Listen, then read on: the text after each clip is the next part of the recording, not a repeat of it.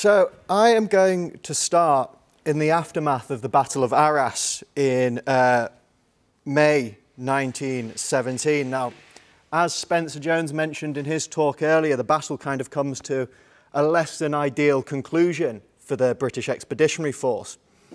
And Brigadier General John Kennedy, who is commanding the 26th Infantry Brigade in 9th Division, reports after the battle that whilst his men had, in his words, perfected the attack against an enemy trench system, they didn't know what to do when it broke down into semi-open and open warfare. And Kennedy believed that the old regular army, who had been taught to advance by fire and manoeuvre, would have actually gained far more ground than the BEF managed at Arras. Now, key to this state of affairs was collective training, which put simply is where soldiers were taught to act as part of a section, a platoon, company and larger formations on the battlefield. Now, the importance and effectiveness of collective training in the BEF in 1917 has frequently been identified by historians. Tim Cook talks about it key in the Canadian Corps at Vimy Ridge, Nick Lloyd at Passchendaele, Prior and Wilson at Passchendaele and Simla. Generally though, these accounts tend to be very brief and either cover single formations or single operations. And what I'm trying to do here is kind of coalesce all of collective training in 1917 and show how it influenced the British Army's performance throughout the year or the BEF's performance throughout the year. And I'll do this in three stages.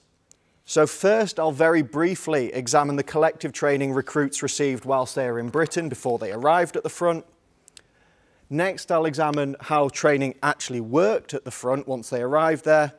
And lastly, the positive and negative ways in which this helped prepare British soldiers for battle.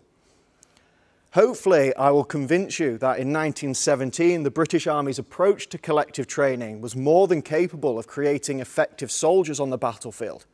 And this was key to many of the BEF's most notable successes, particularly in trench warfare, hence the title of this piece.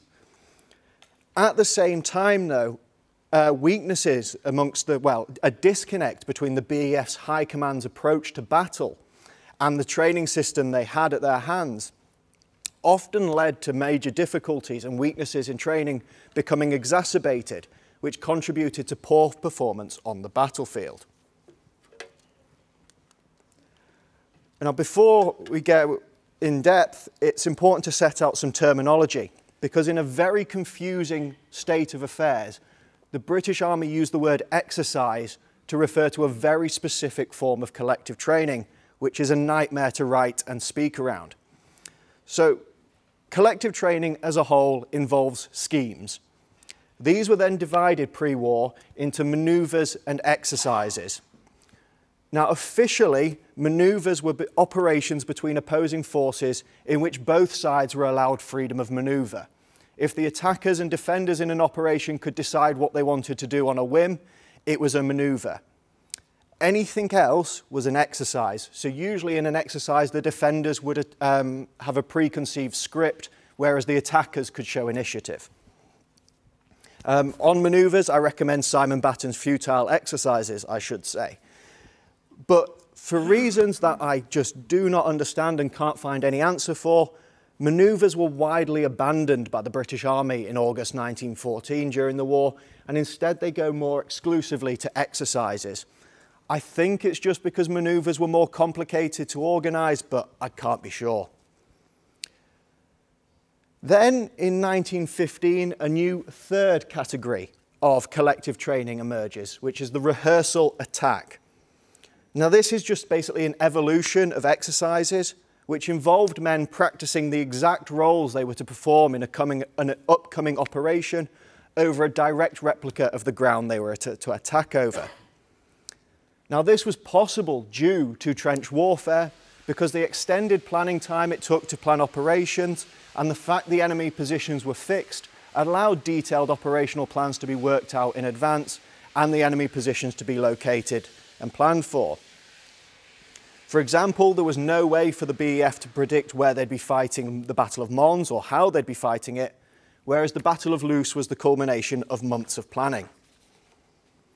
Just as importantly was the advent of aerial photography, which allowed enemy defences to be identified and marked out at a hitherto impossible level of detail. So throughout this speech, I'll be talking about exercises and rehearsals. Next, moving on to the benefits of collective training. These were numerous, but I've grouped them into two categories. First is their effect on tactical cohesion, which is the action or fact of forming a united whole. Now, for the infantry, they had to act cohesively together with one another, but also with artillery, cavalry, tanks, and other arms on the battlefield. Strong tactical cohesion allowed them to operate together effectively, whereas poor tactical cohesion would see attacks break down and become disjointed. The second major area where collective training affected the infantry was the staying power of an operation. So the ability to maintain an activity or commitment despite, fatigue or difficulty, such as heavy casualties. The better a staying power, the more an operation would endure in the face of these losses. So moving on to collective training in Britain in 1917 for recruits. It was quite simply very ineffective, or as one account calls it, a complete washout. Now, one problem was the reduced quantity of time recruits spent training in 1917. Due to the BEF's desperate need for men at the front, basic training had been reduced to 14 weeks, which simply wasn't long enough to create a fully trained soldier. For example, a recruit in 1917 spent 81 hours in physical training, provided the intended syllabus was followed, compared to 120 hours physical training for a pre-war regular and it's similar across the board. There is a massive reduction in the total time they spend training in each area. Quality was also a significant problem. Now, recruits were trained in small batches, so there were too few men to do large-scale exercises um, or collective training schemes in Britain. But more significantly, what they did perform was generally pretty poor. Frequently, there was no enemy present, and the recruits who by definition had never been in battle, were simply expected to, expected to imagine what it was like being under fire and act accordingly. Noakes, F.E. Noakes complained about unrealistic manoeuvres in which the enemy was entirely imaginary and nobody seems to have a very clear idea of what we were supposed to do. He also noted in a very British tradition, we never fail to capture our objective in good time to return for dinner. Now, nor does it appear, though it's somewhat difficult to disprove, that many schemes involved combined arms warfare. I certainly haven't come across any accounts of artillery or tanks or anything like that featuring in these schemes. So the tactical cohesion recruits developed in Britain was of minimal value. And it's no surprise that when they arrived at the front, most formations remarked that their drafts were completely untrained. Regarding staying power then, another weakness was uh, collective training didn't condition recruits for battlefield. As said, they had to imagine what it sounded like, and artillery fire was completely absent. Now, one battalion in France, when they received a large draft of men, did what they called a demonstration attack for the newly arrived men to accustom them to the sounds of artillery fire. What this was, was having them stand in a group whilst the battalion band made as much noise as possible with drums and cymbals the fact they thought that was meant to help the recruits kind of shows how little experience or not of noise and carnage they'd been exposed to before. Now, the result was many new drafts were prone to panic or breakdown when first exposed to enemy fire. F.A. Voigt recalled how one new draft under artillery fire for the first time, and I quote, stretched out at full length, trembling and sobbing hysterically, and clutching at the grass with hands that opened and closed in mad spasms, End quote. In contrast, their experienced sergeant was quite unafraid and had a rather bored look on his face. Now, moving on to what was happening at the front, fortunately, this was of far, far higher quality. Now, by the end of 1916, a relatively standardized approach to collective training had been embraced throughout the BEF. When withdrawn into reserve out of the line, formations frequently conducted exercises over replica German trenches. When they were selected for an actual military operation, They then advanced from these exercises to specific rehearsal attacks over exact replicas of the terrain. Now, there were multiple factors behind this. The BEF's updated doctrine was um, stressed the use of rehearsal, such as SS 135, uh, published in 1916. There were continuing improvements in aerial photography. Uh, for example, a trench raid in November 1917.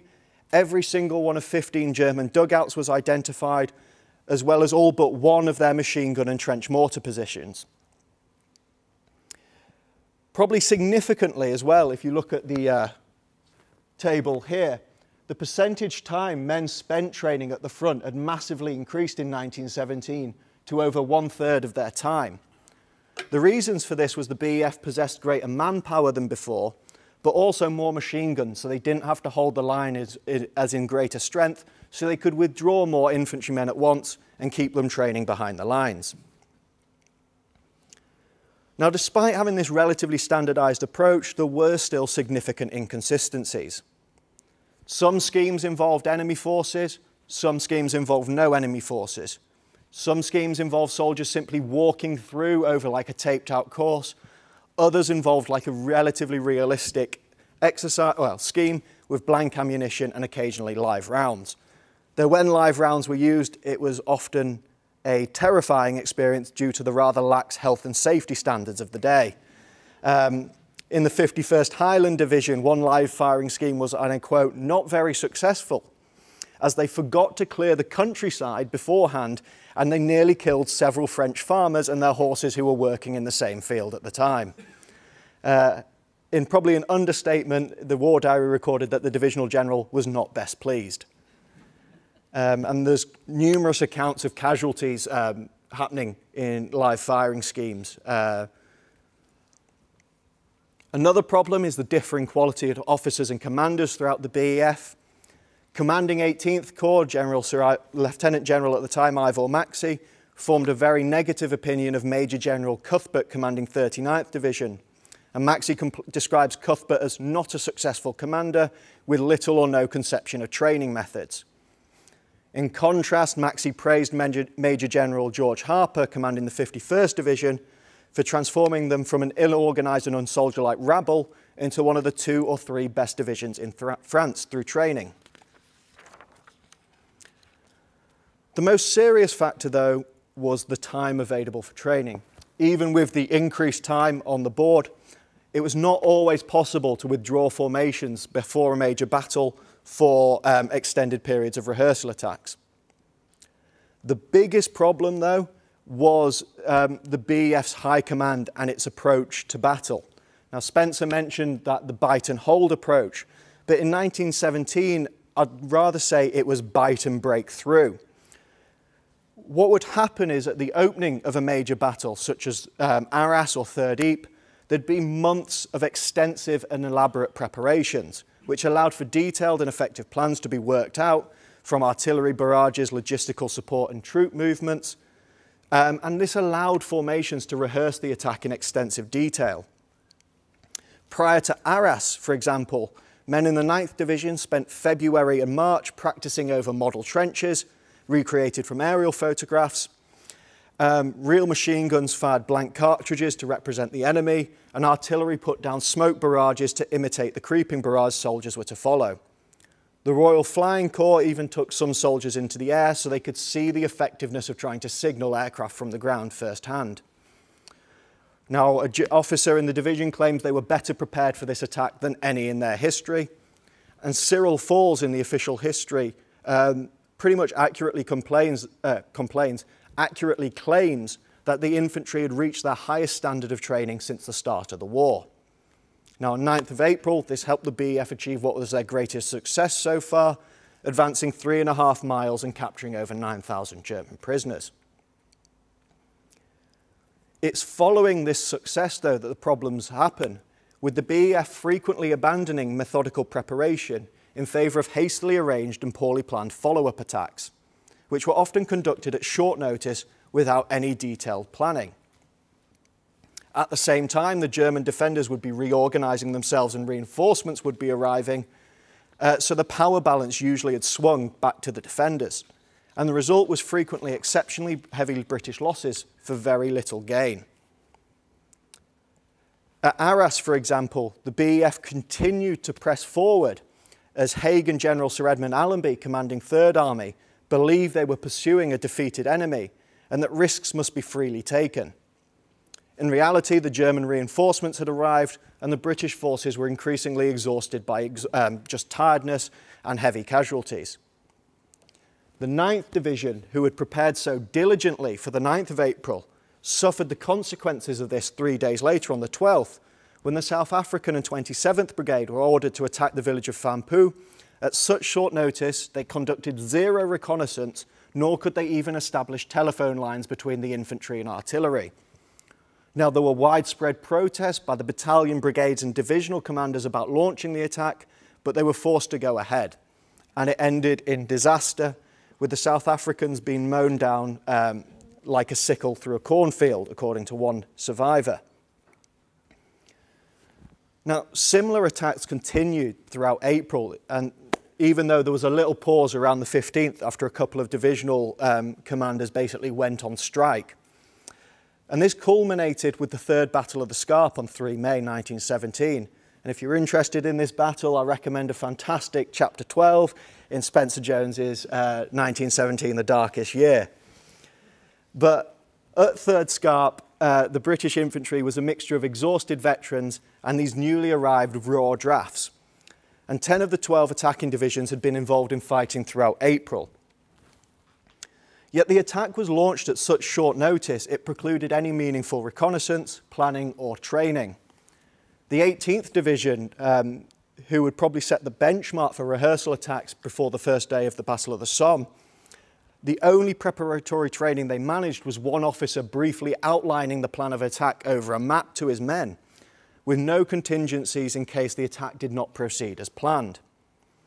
Finally, at less than 24 hours' notice, impossibly his least defensible decision of the war, Haig made the decision that the attack was to move from a dawn attack to one at night in pitch black.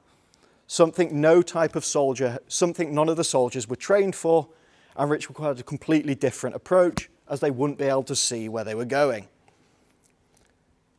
Together, this meant that the infantry fighting the opening day battles usually had a far higher overall level of collective training than those fighting the follow-up attacks. And this shows that whilst the BEF had made major improvements in increasing the consistency and quantity of collective training men received, there were still significant weaknesses in 1917.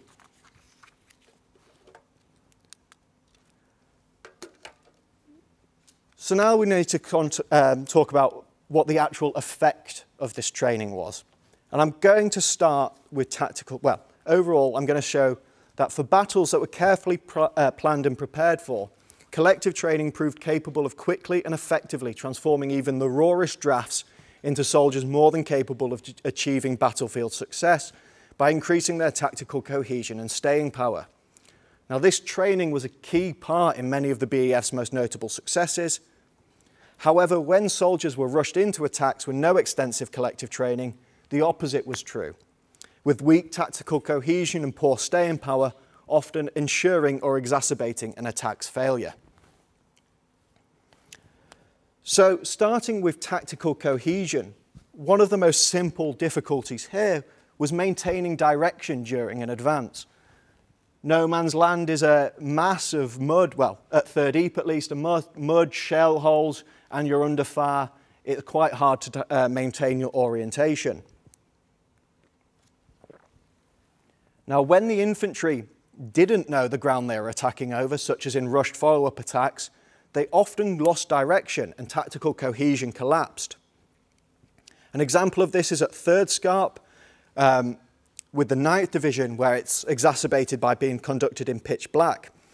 Now, one battalion in the Scottish Division is confused by a series of German flares that go off off to their right, and they swing that way, which brings them across the front of another British battalion who open fire on them thinking they're the Germans and inflict heavy casualties. Another battalion um, becomes so hopelessly lost, they pivot then to their right and advance on their own trenches firing from the hip. Um, so somehow managed to capture the British front line. This is even more disastrous because the reserves who are following that battalion don't know the battalion in front of them has got lost. They think there's a battalion in front of them, and because there's no fighting, it's all clear. So they stumble into a German trench which is manned with defenders not expecting it and get mown down in essence.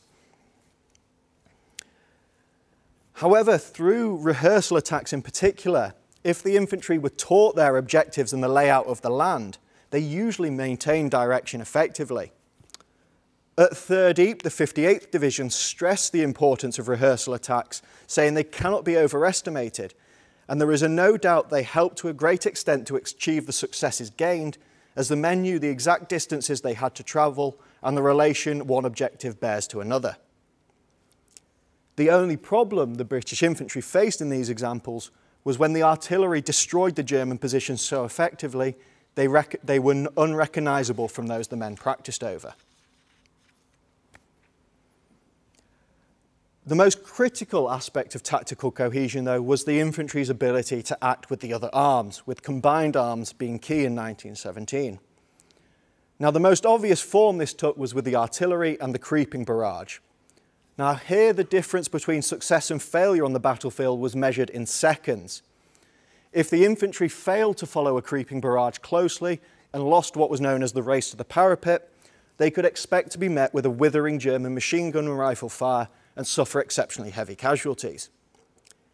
If, however, they closely followed the barrage and entered the German position before the defenders could get their machine guns into action, they usually achieved what was a relatively easy victory in terms of the First World War. Now, the difference here between success and failure was usually down to collective training. In March 1917, the 2nd Division had practiced its men extensively in following a creeping barrage usually represented by drums, and its men thoroughly realised its importance and the need to keep up to it.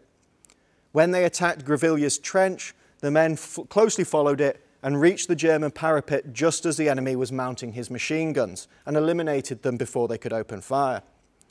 The division's war diary noted that success, and I quote, was obviously a question of seconds, and had the men not been trained to be right up to the barrage, many casualties must have been incurred, end quote. Now, the effectiveness of the British infantry in closely following the creeping barrage, thanks to collective training, was key throughout 1917, such as at Arras, um, Third Ypres and Messines. It all played an important role. Um, but it wasn't perfect. Uh, well, sorry.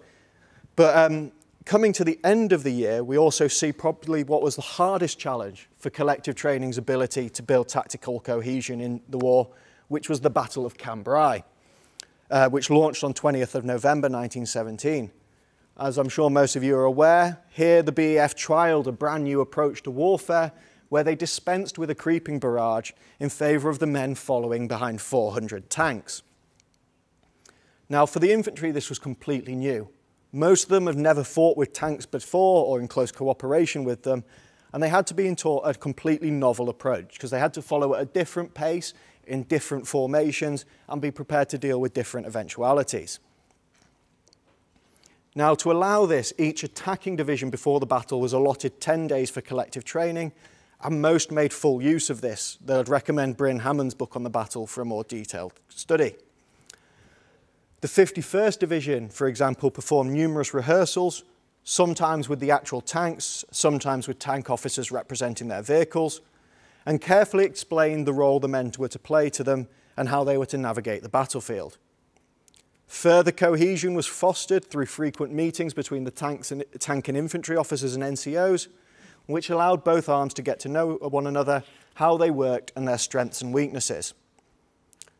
When the attack began, the 51st Division reaped the rewards of this training, with both soldiers and tanks understanding each other's roles and objectives clearly and when there was close cooperation between tanks and infantry, success was prompt and complete.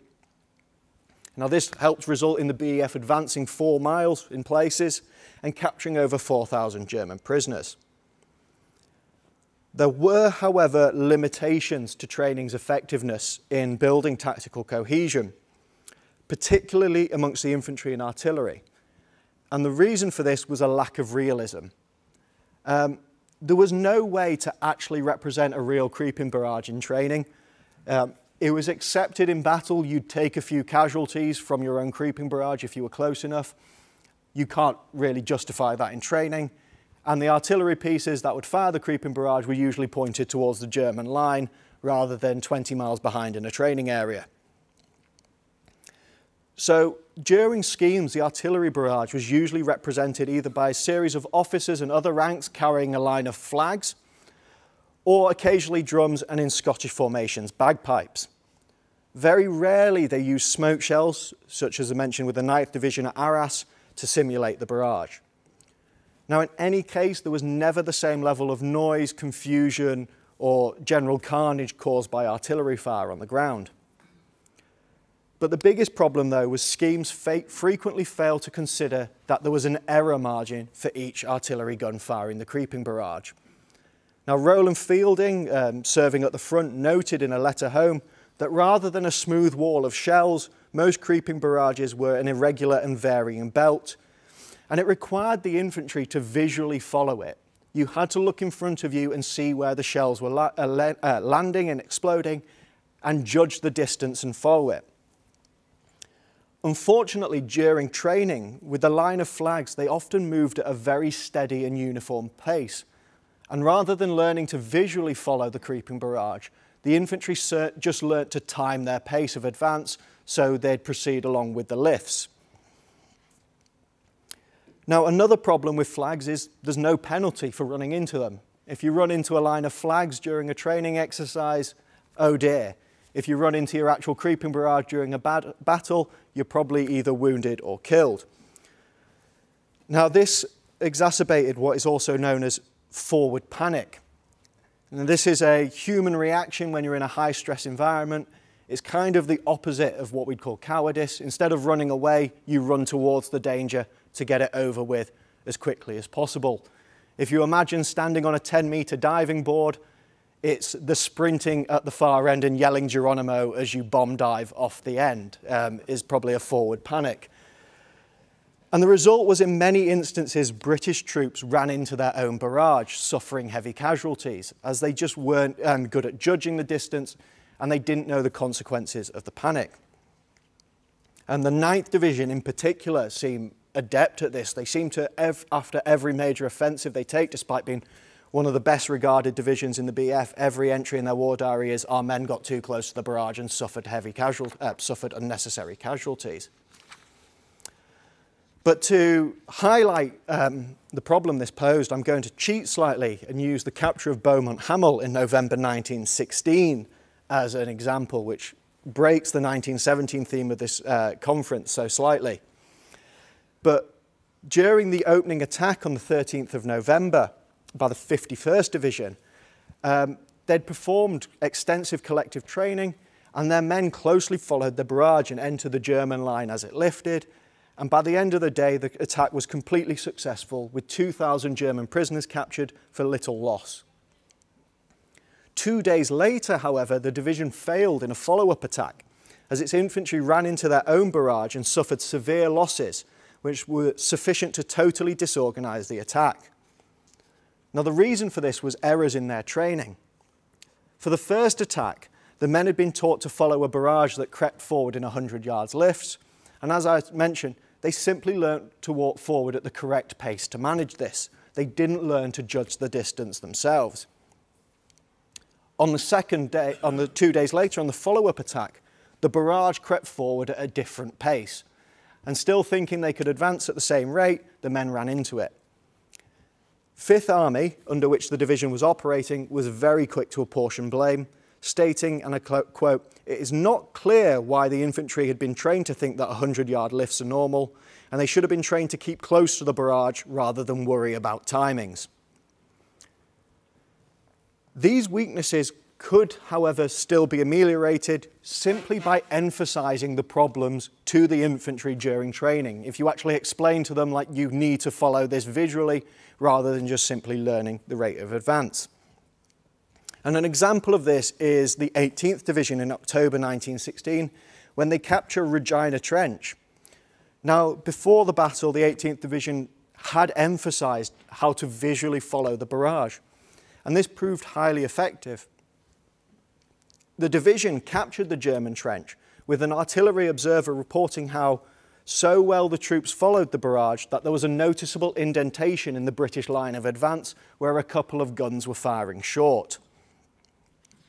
Now this shows that a high level of tactical cohesion was achievable even within the limited realism of collective training, as long as troops learnt to follow a creeping barrage by, look, by looking at where the sh shells were falling. The biggest weakness with collective training, though, was that the infantry simply couldn't rely on other arms in every battle, especially creeping barrages. At Third Ypres in particular, it was found in the, uh, once it became a muddy quagmire, the infantry certainly couldn't keep up uh, a sufficient rate of advance to keep up with their barrage, and the barrage would lift off the German positions, the Germans would emerge and shoot down the British infantry struggling in the mud. The most common reason for the creeping barrage's failure, though, was rushed planning and preparation, often in follow-up attacks. At Fampoux, as previously mentioned, there was no time for reconnaissance, no time for planning, and there was no communication between the infantry and artillery. And as soon as the attack begins, the uh, creeping barrage is weak, ragged, and the infantry lose it and suffer heavy casualties from German fire. Furthermore, after the opening day of Arras, the Germans also moved to a new defence in depth approach, where rather than a solid connect connected line of trenches, they now occupy a number of unconnected defensive positions, such as fortified shell, shell holes, hedgerows, concrete pillboxes, and redoubts. Now, these positions were isolated and mutually supportive, which were more challenging for the artillery to suppress but also the infantry couldn't simply enter them and bomb their way forward like they could with a connected trench line. Now, this was the semi-open warfare that Kennedy mentioned in the introduction. And in this warfare, victory hinged on the infantry's ability to fight forward by itself through fire and manoeuvre, just as the regulars had pre-war. The problem was, up till the middle of 1917, collective training completely neglected this possibility. Now, this was a long-stemming thing from the over course of 1915 and 16. Collective training had moved from fire and movement in the open um, into in favour of relying on the artillery and trench warfare.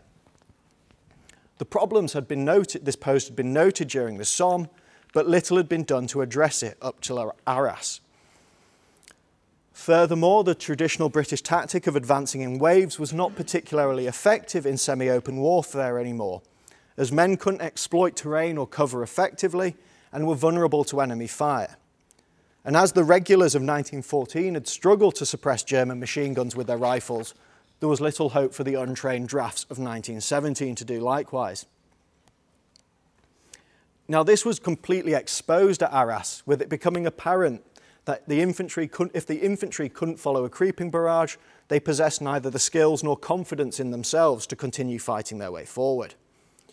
Major General Cecil Pereira, who uh, Spencer Jones has edited um, the papers of. I'm not angling for a job here, I swear.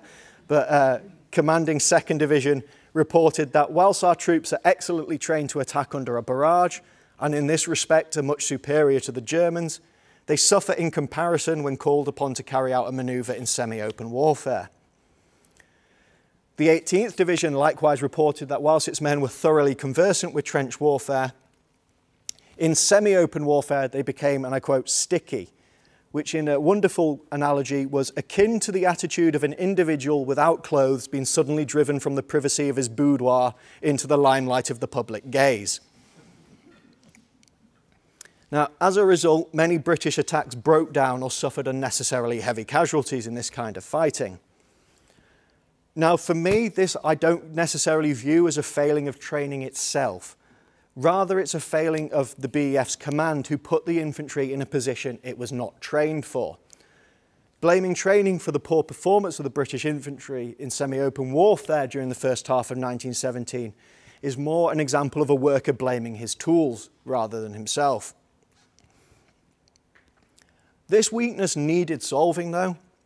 Um, one solution was giving greater weight to training men in open warfare situations but most importantly was the emergence of platoon tactics, which really kind of They're present before Arras, but it's really after the Battle of Arras they become commonplace. Now, turning the platoon into an army in miniature with rifle grenades, Lewis guns, and hand grenades empowered the infantry by giving them the tools and tactics necessary to fight their way forward by themselves. And platoon tactics were quickly incorporated into the existing approach to collective training. So exercises, instead of focusing on creeping barrage, simply follow on platoon tactics. Feilding described one exercise where each man was um, drilled in their role so specifically. When under inspection by the army commander, one man was asked if he was a Catholic, to which he responded, I'm a rifleman, sir. Now, in many formations, this training proved highly effective in preparing men for semi-open warfare. And there's countless examples during Third Ypres of this. In 13th Corps, for an example, they allotted each platoon specific pillboxes and machine gun emplacements to deal with before rehearsing their capture numerous times behind the lines. Now, the 51st Division stressed the, um, the effectiveness of this training in its report on the opening attack on 31st of July, saying that it enabled the infantry and effectively, and in most cases promptly, to carry out their tasks, with rifle grenades saving the situation again and again.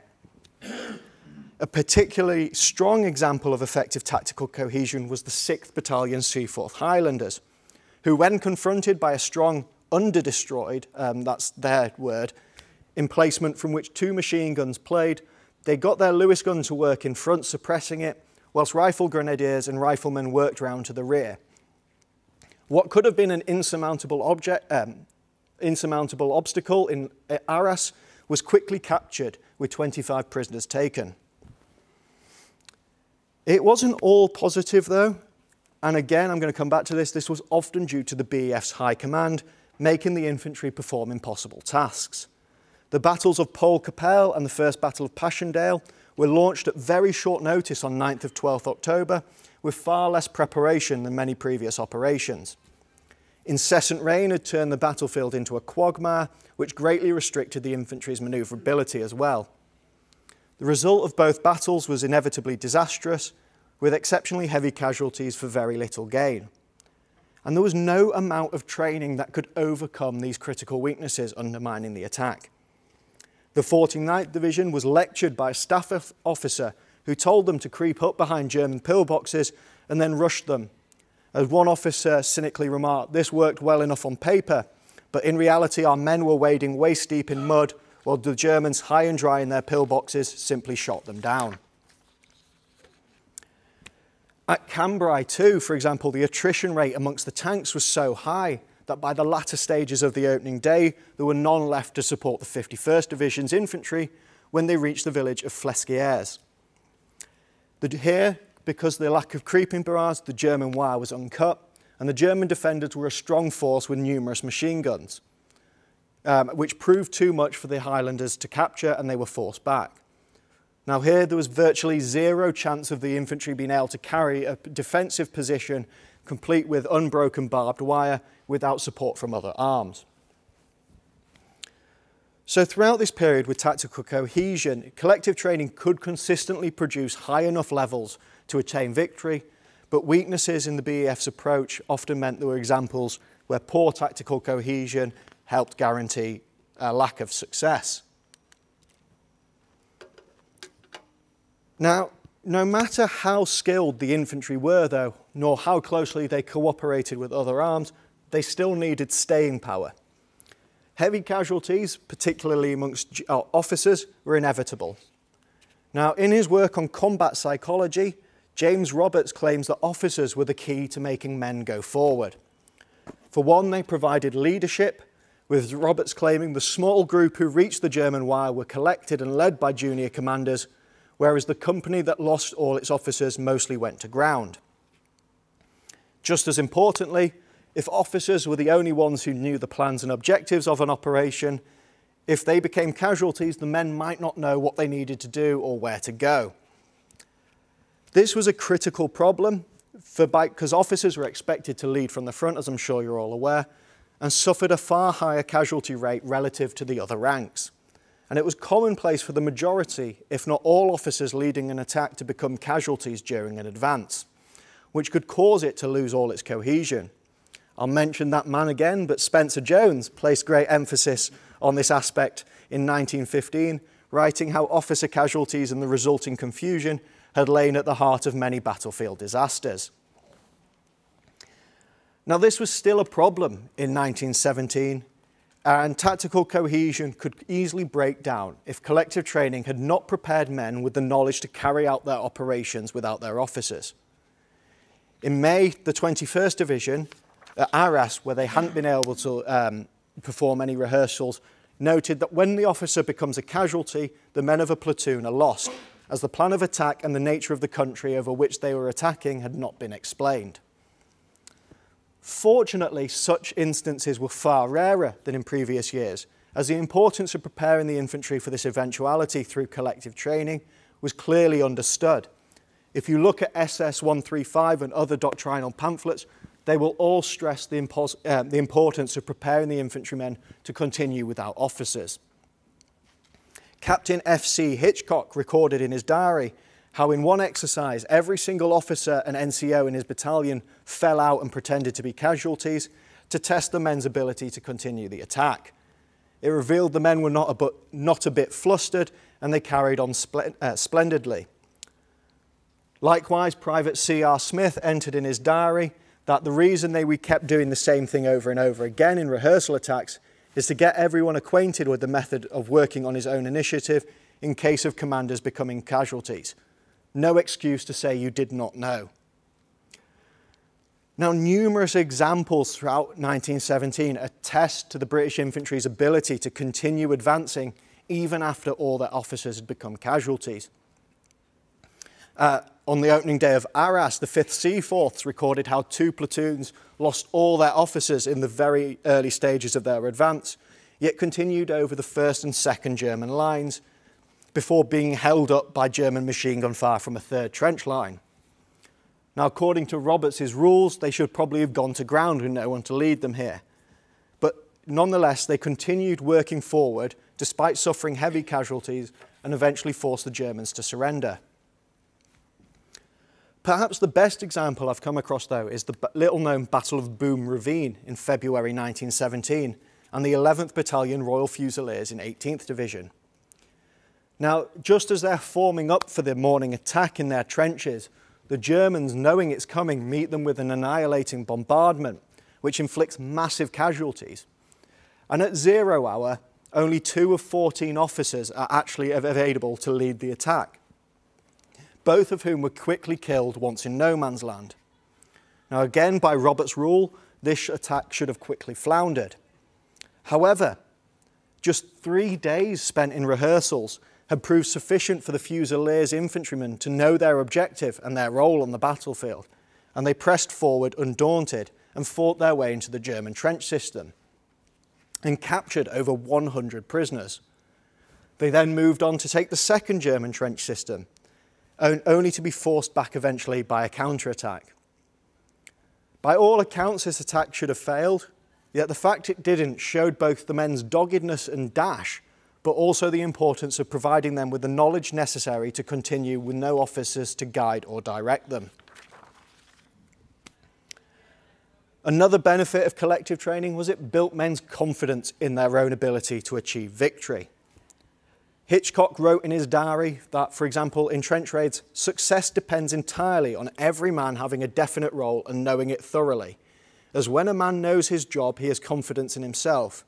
Should he not know it, he is liable through ignorance to get windy and cause alarm amongst his companions, turning the raid into a failure. Now, rarely the inverse was true, and collective training could lower men's confidence by making clear there was little chance of success in a forthcoming operation. This was certainly the case at 30 with the examples I've mentioned of men being told to flank pillboxes when they knew they'd be stuck in the mud. Overall, though, collective training um, usually improved men's confidence before major attacks, and this helped build and sustain their, what was known at the time as spirit, which is a combination of morale, motivation, and discipline in contemporary terms.